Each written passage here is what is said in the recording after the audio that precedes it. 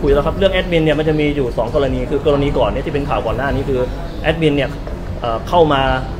ช่วยเผยแพร่ธรรมะ แต่หลังจากนั้นอะในขณะที่ทำหน้าที่แอดมินก็ไปแต่งชุดว่ายน้ำแล้วก็ไปไปโพสข้อธรรมะ อันนี้คือน้องนายบอกว่าแบบนี้ไม่เหมาะสมคือขณะที่คุณเป็นทำหน้าที่เป็นแอดมินแล้วก็ไปโพสธรรมะแล้วขณะแบบนี้มันทำให้คนเสื่อมศรัทธาไม่น่าเชื่อถือ แต่กรณีหลังเนี่ยที่บอกที่เพจอีซอซึ่งหาตัวตนไม่ได้เอาไปเผยแพร่เนี่ยนะ มันเป็นเรื่องราวที่เขาไปทำงาน ซึ่งเขาเป็นเคยเคยเป็นทำงานเกี่ยวกับถ่ายแบบอะไรพวกเนี้ยมันเกิดขึ้นแล้วตั้งแต่ปี 62 ภาพนั้น แต่ปัจจุบันเนี้ยเขาเขาเขาเข้ามาทางทำมาปฏิบัติธรรมเขาไม่เคยไปแต่งตัวแบบนั้นเลย ปัจจุบันก็คือไม่มีครับอันนี้มันเป็นภาพเก่า ซึ่งเขาก็ยอมรับว่ามันเป็นภาพเก่า ซึ่งน้องไนท์ก็รู้แล้วเขาบอกว่าอันเนี้ยซึ่งคนที่เคยทำทำไม่ดีมาก่อน แต่ว่ากลับตัวกลับใจเข้ามาเป็นคนดี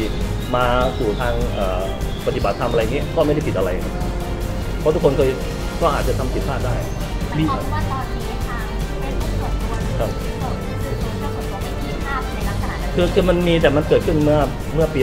62 ก็ก็ยังมีปรากฏอยู่อ่าปัจจุบันไม่มีปัจปัจจุบันเนี่ยเขาไม่ได้ไปถ่ายแบบนั้นแล้วณที่เข้ามาทำหน้าที่แอดมินแล้วไม่ไม่ได้ไปถ่ายแบบนั้นแล้ว ที่เป็นข่าวที่น้องไนท์พูดคำว่า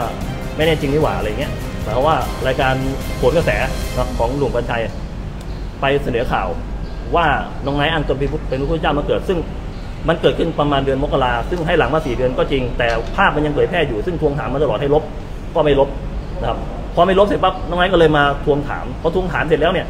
ทวงถามก่อนหน้านั้นแล้วทางทางช่องทางแชทก็ดีทางไลน์ก็ดีผ่านผู้สื่อข่าวก็ดีก็ไม่ลบ ก็เลยต้องใช้คำพูดในลักษณะว่าเตือนสติ ให้รู้ว่าคุณทำไมไม่ลบคุณนำเสนอข่าวเท็จคุณก็ไม่ยอมรับ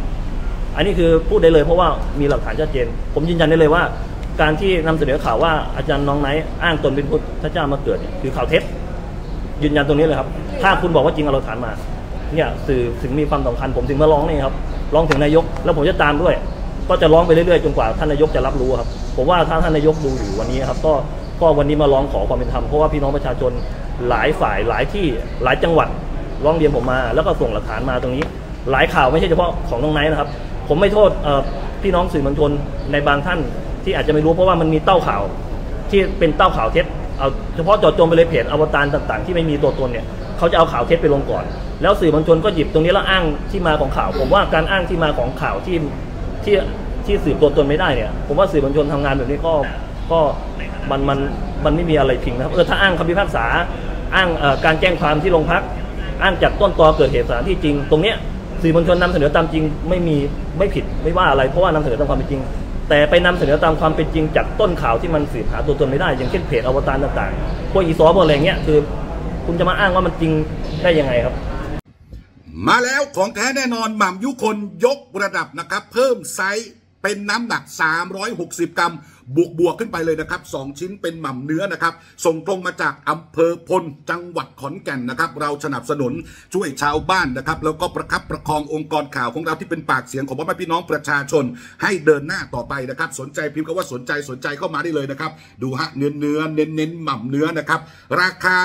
199 บาทสนใจพิมพ์คำว่าสนใจสนใจเข้ามาหรือกดสั่งซื้อในลิงก์ไลน์ดูนะฮะของแท้แน่นอนผมกล้ารับประกันคุณภาพ แล้วก็ความตามอร่อยและที่สำคัญส่งตรงมาจากอำเภอพล จังหวัดขอนแก่นอีกด้วยนะฮะ